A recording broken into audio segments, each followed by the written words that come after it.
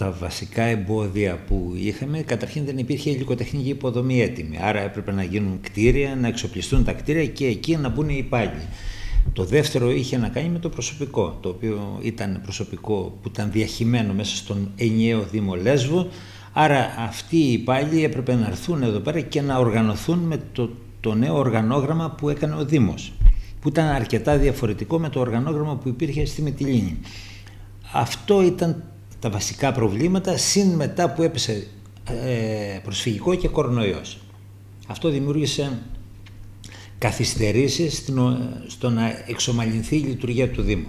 Με τον ε, Βέρο καταρχήν μιλάγαμε και πριν τις εκλογές, δηλαδή και πριν προκηρυχθούν οι εκλογές είχαμε μια συνομιλία, είχαμε γνωριστεί και μιλάγαμε, ανταλλάσσαμε απόψεις και με τον Ελευθερίο που ήταν το δίδυμο της παράταξης που ηγήθηκε από, την, από εκεί πλευρά στο Δήμο, μιλάγαμε, άρα είχαμε εντοπίσει ότι υπήρχε μια συναντήληψη.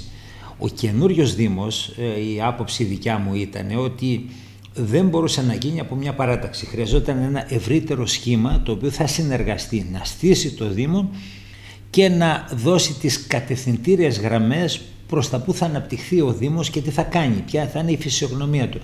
Στη λογική λοιπόν αυτή της συνένωσης δυνάμεων, το οποίο ευνοούσε και η ύπαρξη της απλής αναλογικής, δηλαδή ο Δήμος δεν έχει πλειοψηφία απόλυτη με το παλιό εκλογικό σύστημα, οδήγησε τα πράγματα να υπάρχει συνεργασία μεταξύ μας.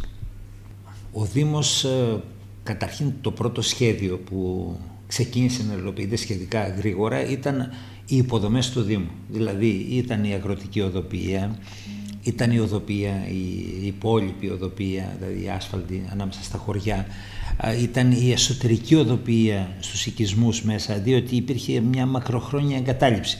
Και βέβαια ήταν η συνεργασία με, τα με τις διαδημοτικές εταιρείες που ήταν η ΔΕΔΑΠΑΛ και η ΔΕΙΑΛ για τα απορρίμματα και για τα, ε, τα θέματα ίδρυυσης αποχέτευσης. Εκεί λοιπόν εμείς οργανώσαμε σχέδιο όπου μπορούσαμε καλύτερα για να μπορούμε να συμβάλλουμε και στα θέματα ίδρυυσης και αποχέτευσης και στα θέματα διαχείρισης στερεών απορριμμάτων.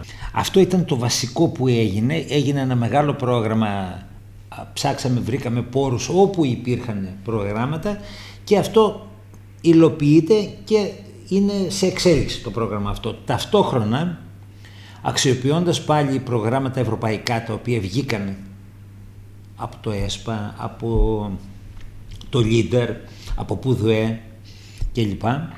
Εμείς ξεκινήσαμε να υποβάλουμε προτάσεις και να σχεδιάζουμε την οικονομία του Δήμου, να παρέμβουμε. Δηλαδή όσον αφορά θέματα που αφορούν τον αγροτικό τομέα, όσον αφορά τη γεωργία, το περιβάλλον, τον τουρισμό. Όλα αυτά είναι ζητήματα τα οποία ε, ο Δήμος έχει αναπτύξει δράσεις οι οποίες δεν φαίνονται αυτή τη στιγμή ακόμα αλλά είναι σχέδια τα οποία έχουν υποβληθεί και είναι υπό έγκριση. Δηλαδή εμείς πρακτικά επειδή έτσι ήταν η κατάσταση δεν δουλέψαμε μόνο για το, κάτι το οποίο το κάνω και φαίνεται τώρα διότι αλλιώς θα κάνα μόνο δρόμος και θα τέλεινα εκεί. Άρα φτιάξαμε ένα σχέδιο και δράσεις οι οποίες θα φανούν στην πορεία. Τα σχέδια υλοποιούνται και στην κεντρική κυβέρνηση και στους Δήμους μέσα σε δύο θητείες τουλάχιστον. Σχεδιάσαμε ένα πρόγραμμα γύρω από τον ε, κόλπο της Καλονίας. Ο κόλπος της Καλονίας είναι ένα οικοσύστημα το οποίο είναι ενταγμένο στο σχέδιο Natura, έχει μια ειδική περιβαλλοντική πλευρά και εκεί ε, ε, πρέπει να γίνουν έργα τα οποία να ταιριάζουν, να αναδεικνύουν τη βιοπικιλότητα που έχει ο κόλπος Καλονίας και ταυτόχρονα να αναπτυχθεί ένας τουρισμός, οικοτουρισμός γύρω από αυτή την προσωπικότητα. Αυτό το πράγμα για να γίνει πρέπει καταρχήν να υπάρχει μια ολιστική μελέτη, συνολική. Εμείς λοιπόν βρήκαμε το χρηματοδοτικό πρόγραμμα, υποβάλαμε τη μελέτη. Η μελέτη οδηγεί σε έργα πολλών εκατομμυρίων να γίνουν. Εφόσον εγκριθεί η μελέτη, αυτή τη στιγμή είμαστε στη διαδικασία που η μελέτη έχει υποβληθεί και περιμένουμε την έγκρισή της. Δημοπρατούμε τη μελέτη και πάμε να κάνουμε τα έργα. Τα έργα μετά είναι σε δεύτερη φάση που θα πάμε να πάρουμε τα λεφτά από αντίστοιχα από το νέο ΕΣΠΑ που βγαίνει τώρα από το ΠΕΠ να τα πάρουμε και να γίνουν οι επενδύσεις. Ποιες είναι οι επενδύσεις; είναι έργα τα οποία προστατεύουν το βιότοπο, ε, είναι έργα τα οποία ε, θα έχουν διαδρομές επίσκεψης στο βιότοπο, είναι έργα τα οποία αφορούν μουσεία, τα οποία θα αναδεικνύουν το περιβάλλον που υπάρχει ε, τριγύρω, είναι έργα που θα παρεμβαίνουν στα χωριά, τους οικισμούς να βελτιώνουν ε, το προφίλ των οικισμών κλπ. Όλα αυτά λοιπόν όπως καταλαβαίνετε εμείς το μελετήσαμε, κάναμε το σχέδιο, υποβάλαμε την πρόταση και περιμένουμε την έγκριση. Αυτό είναι ένα χαρακτηριστικό παράδειγμα. Το δεύτερο είναι, αφορά το ενεργειακό κομμάτι του Δήμου. Δηλαδή αυτή τη στιγμή η εξέλιξη στα ενεργειακά θέματα είναι τόσο μεγάλη παγκόσμια όσο ήταν πριν μερικά χρόνια η πληροφορική. Το ψηφιακό κομμάτι, η ψηφιακή τεχνολογία. Το ίδιο γίνεται στην ενέργεια. Εμείς λοιπόν υποβάλαμε πρόταση που τα κτίρια, τα δημόσια κτίρια θα τα αναβαθμίσουμε ενεργειακά. Δηλαδή αυτό το κτίριο που είμαστε τώρα εδώ, που είναι το παλιό Δημαρχείο Αγίας Παρασκευής, θα αναβαθμιστεί ενεργειακά και θα γίνει μια παρέμβαση συνολική. Το σχολείο που είναι απέναντι μας, το μεγάλο θα γίνει και εκεί μια ενεργειακή αναβάθμιση σε αυτή την κατεύθυνση.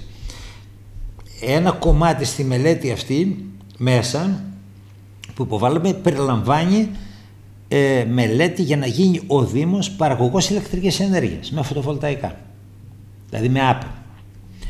Ε, και άλλα διάφορα τέτοια. Όπως καταλαβαίνετε, ε, αυτά τα πράγματα οριμάζουν σιγά σιγά μέσα στο Δήμο, ε, οδηγούν σε έργα τα οποία ο Δήμος θα βρεθεί στη θέση μετά να διαχειριστεί τα έργα, να τα υλοποιήσει τα έργα ή να συνεργαστεί με ιδιώτες οι οποίοι θα είναι συνεπενδυτές μαζί με το Δήμο στην υλοποίηση των έργων αυτών. Άρα λοιπόν όλο αυτό το πράγμα σιγά σιγά οδηγεί σε ένα καινούριο Δήμο που διαχειρίζεται πλούτο στην οικονομία ο οποίος θα γυρνάει μέσα στους δημότες. Για μένα το στίχημα, το έχω πει πολλές φορές δηλαδή και δεν έχω αλλάξει γνώμη, είναι η μακροχρόνια υπανάπτυξη που υπάρχει να αναστραφεί. Δηλαδή το νησί μας είναι πολύ φτωχό και όλα τα νησιά του Βορείου είναι πολύ φτωχά, είναι 20-25% κάτω από το μέσο όρο της Ελλάδας, αυτό το πράγμα πρέπει να αναστραφεί.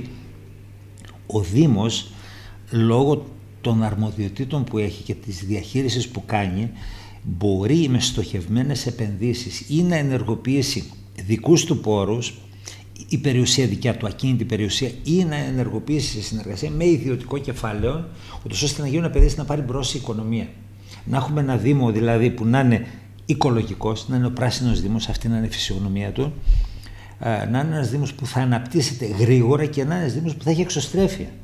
Δηλαδή ο κόσμος δεν είναι τα σύνορα του νησιού. Το νησί μας είναι ένα κομμάτι του Αιγαίου, είναι ένα κομμάτι της Ελλάδας, είναι ένα κομμάτι της Ευρώπης και του πλανήτη.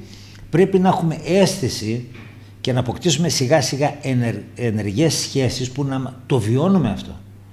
Το γεγονός ότι έχουμε λίγο τουρισμό επί πολλά χρόνια δεν βοηθάει στην εξωστρέφεια αυτή. Άρα λοιπόν η εξωστρέφεια αυτή σχετίζεται με το να έρθει τουρισμός εδώ, να αναπτυχθεί ο ειδικός τουρισμός, όχι ο μαζικός, ο τουρισμός, ο οικοτουρισμός, ο θρησκευτικός τουρισμός κλπ. Ε, και ταυτόχρονα να αναπτυχθεί η οικονομία, το ψηφιακό κομμάτι της οικονομίας, το οποίο θα φέρει σε επαφή τους κατοίκους εδώ πέρα, τους δημότες, με τον έξω κόσμο, αλλά και ο έξω κόσμος θα μάθει τι είναι η Λέσβος, τι είναι ο Δήμος Δυτικής Λέσβου και θα έρθει να δουλέψει εδώ πέρα, θα έρθει να μείνει εδώ. Θα έρθει να περνάει κάποιο καιρό εδώ πέρα. Η υπόθεση Φεντέλη είναι ένα ιδιαίτερο ζήτημα. Ας πούμε, αφορά μια περιοχή η οποία είναι τουριστική περιοχή. Έχει ένα ειδικό τουρισμό που ενδιαφέρεται εκεί. Δεν είναι κάτι το οποίο αφορά μόνο τους κατοίκους της αίρεσου. Αλλά φοράει λόγω έχουν και όσοι έρχονται τα καλοκαίρια και μένουν εκεί πέρα και ζουν εκεί και αφήνουν και εισόδημα εκεί πέρα και προβάλλουν τον τόπο μας και το νησί προς τα έξω. Είναι μια περιοχή που είναι κατά βάση ναμουδιά και δεν μπορεί εκεί να γίνουν παρεμβάσεις. Δεν θέλω να μπω τώρα σε τεχνικές λεπτομέρειες πώς γίνεται και δεν γίνεται, αλλά αρμοδιότητα του Δήμου και ρόλος του είναι να προστατεύσει αυτή την περιοχή ο Δήμος και πρέπει να περάσει ένα καθαρό μήνυμα. Σε αυτό έχουν γίνει λάθη πρέπει να βρει ένα καθαρό μήνυμα ότι η πολιτική του Δήμου είναι η προστασία η περιβαλλοντική. Και ειδικά σε ένα εμβληματικό χώρο όπως είναι η παραλία της Ερεσού ε, που δίνει ένα σήμα το οποίο περνάει τα σύνορα του νησιού και επικοινωνείται πολύ παρά έξω. Καταρχήν αυτό που με ενδιαφέρει ένα πιο σημαντικό είναι αυτά που ξεκινήσαμε να μπουν σε μια διαδικασία ολοκλήρωσης και συνέχειας. Να υπάρξουν και συνεχιστές στην πορεία αυτή ανάπτυξης και παρέμβασης στο γίγνεσθε εδώ πέρα του, του Δήμου. Αυτό με ενδιαφέρει πάνω απ' όλα. Τώρα το τι θα κάνω εγώ, εγώ γύρισα στον τόπο μου πίσω, ενεργοποιούμε, έχω δεθεί ακόμα παραπάνω στον τρόπο ζωής της καθημερινότητας που το ζω πια το τι θα κάνουμε δεν είναι πολύ, είναι, όχι πολύ νωρίς. Θα έλεγα είναι σχετικά νωρίς να το συζητήσουμε. Είναι κάτι που θα το δούμε και θα το συνεκτιμήσουμε. Δεν είναι κάτι που μπορώ να πω κάτι συγκεκριμένο προς το παρόν. Αλλά θα είμαι εδώ, θα είμαι ενεργός και θα παρεμβαίνω στα, στα δρόμενα εδώ.